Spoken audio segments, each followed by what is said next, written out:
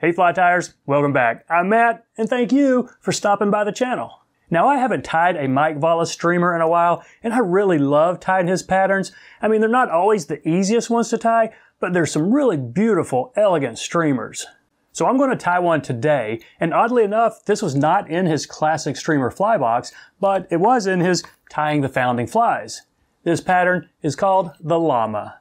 Now it was created by Miles Tourtellot a Menominee Indian from Wisconsin in the 1940s. And I did read that he likely got the fly from an Old English pattern book, but it didn't become popular until Eric Leiser wrote about it in a 1973 article in Fly Fisher magazine called Tying the Llama and Why. Now I haven't read that article, but it sounds pretty interesting. Now, other than what I just told you and what I read in Mike Valla's book, I couldn't find any information out there on this thing, and I certainly couldn't find another video of it being tied. And I don't know why it has fallen out of favor in the last 40 or 50 years. It's really a cool looking pattern, and I know it's going to look good in the water, and I think you're going to like it. Let's give it a shot. So there you go, the llama. Pretty cool looking streamer. I'm going to be tying this on a size 8, and I am using a 6X long streamer hook.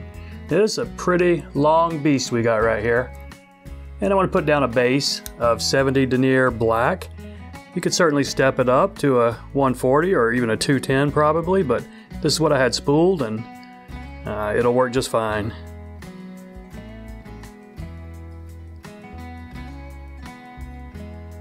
Okay, after you got your thread all the way back to the start of the bend, take a grizzly hen and I'm going to use uh, the long fibers right here for the tail and just a good chunk of them, maybe 15 or so feathers, or not feathers, but fibers here. How about that right there? There we go. I think that's going to look good. And it's not a real short tail. It's not stubby. It's not terribly long, but I'd say it's a hook gap or a little bit bigger. Right there. Okay. Now here is got to make a decision. Should I cut those off or can I bury them flat enough without getting a big lump in the back of, of this body? I'm going to go ahead and cut them. You probably could get away with just burying them, but it was just easy enough to cut. Okay, so the next component is our tinsel. And I'm using a Mylar, Danville Mylar size 14, which is probably a medium. And if I'm doing a red or a black body, I like the gold to show. So I'm to catch it in with a gold toward the hook. And as few wraps as you can get it. Try to be economical with your thread wraps. Going back here, okay. And then big wraps up here. And trying to keep that body level, as level as possible. Now the next component is just some red floss. And as this is a 6X long hook, I'm gonna need about a good 12 inches or so of this. If you were gonna tie it on a 3X long, you probably wouldn't need as much, but yeah, this is gonna be a big long body. So I'm gonna just catch this in, take my thread up a little bit more, and then yeah, do that right there. And fairly open but tight wraps going back. Okay. And I think that is going to work right there. Take the thread back up to the front where we're going to finish this body. And that is fairly smooth, but um, we'll see how it turns out.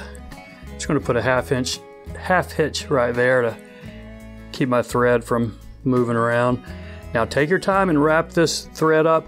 And what I might end up doing is going all the way up and then halfway back and then back forward again if it starts to get a little uh, uneven on me. And remember, you can treat this this type floss just like you would a thread. If, it, if you need it to flatten out, just give it a little counterclockwise spin. And if you need it to cord up a little bit, you know, just spin it clockwise. So just take your time right here and then go up and then down and back a little bit if you need to.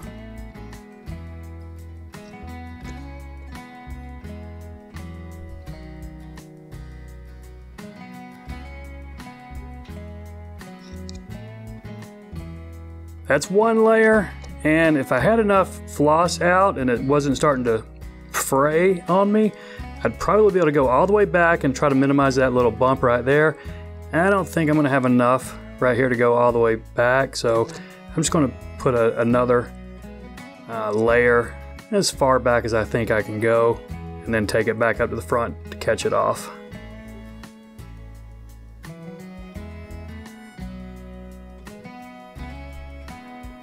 Okay, that got all the way back, but I'm gonna have to put some really wide open wraps to get it back up front because I've only got a couple inches of this floss left and I'm starting to get to the the frayed ends right there you can see but you know that's going to be okay because we've still got this this rib we're putting in and that'll let us hide you know several imperfections here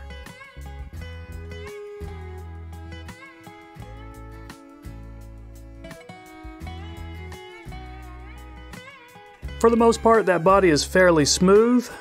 We do have, let's see, there's one stray fiber right there, but I think we're going to be able to compensate for any lumps with wrapping this rib.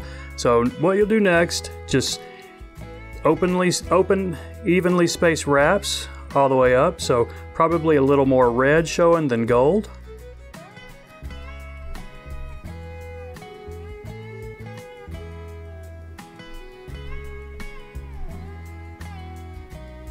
Okay, three wraps to secure that. And don't sweat it if the front of it it's a little bit messy.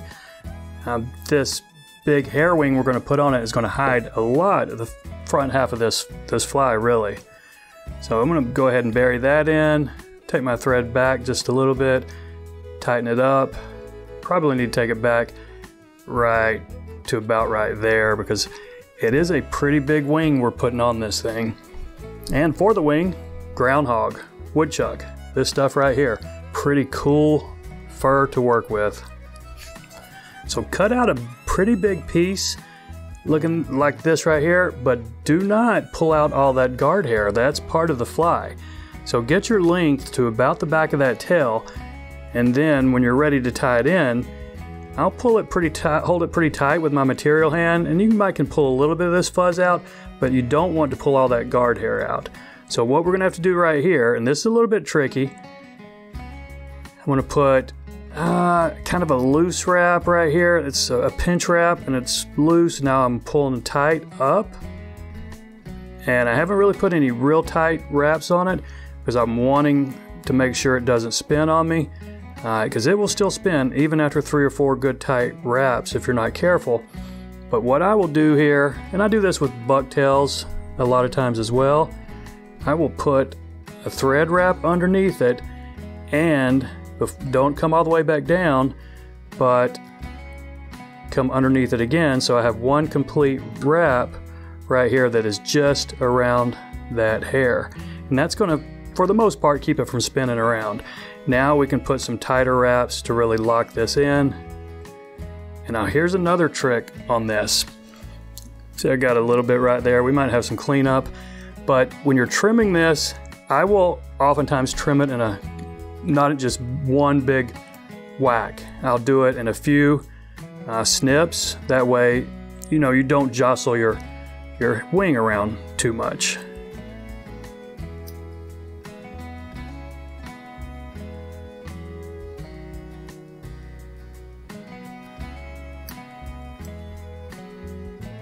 Okay, now if you've taken your time doing that, just use some thread wraps to try to get a taper going right here. And it's a big head, and it's a big head by design.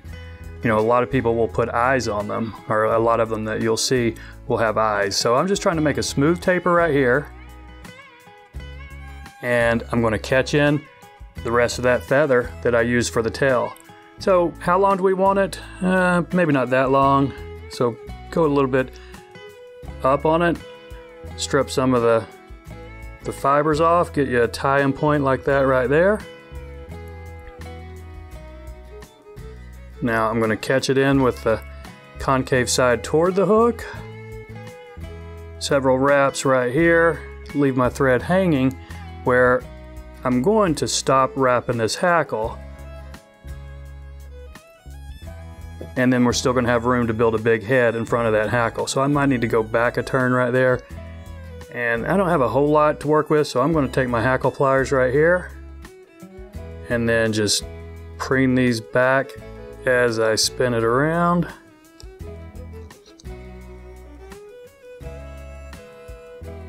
And probably three or four wraps should work for you.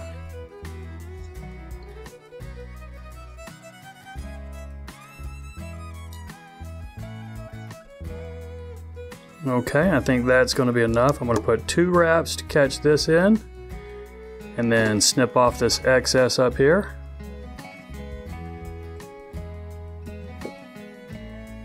Still pretty bushy looking right there, but we're going to clean that up just a little bit. I'm going to pull these back and a few wraps over the front of this, this hackle to get it to lay back a little bit. And now this is where using a, a 210 or a thicker thread would really come in handy because you got to build a pretty big head. And it's the kind of head that you can paint a big white eye on it. I'm not going to do that, but you still kind of want a big, big head that you can gloss and harden up and make it nice and shiny.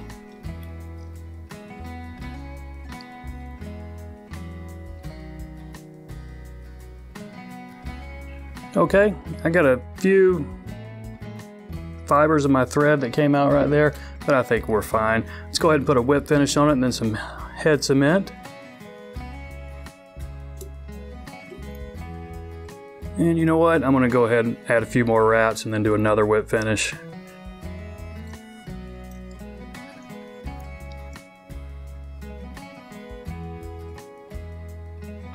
And one of the most fun parts about these streamers is just a big glob of head cement right here, this UV resin. Not like a tiny little dry fly where you gotta be really careful putting it on there. This one you can put a big huge clump.